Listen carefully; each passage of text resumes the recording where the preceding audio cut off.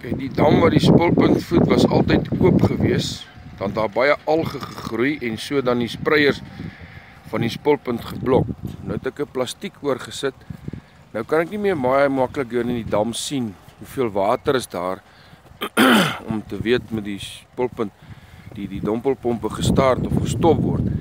Nou het ek vir my kom 'n meter opsit hier, soos in die vroeë jare se voertuie MT en 'n volkant en dan ook reflektertjies aangesit.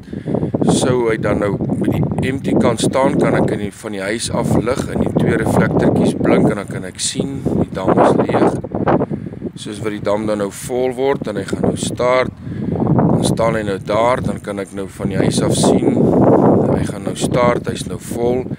Sou ek dan nou met die bakkie verbyry, dan kan ek sien die dam is half of hy's vol of so. Hy het altyd van hier af het die meter ding hier ingegaan met hierdie vreeslike lang hout van my, dan kan 'n mens altyd hier by die dam gestaan en gesien het hoe vol is die dam. Nou kan jy mee sien is net daai gaatjie en dis maar redelik donker binne om dit te kan sien. So nou kan ek daarom van 'n afstand af van die dam af sien of hy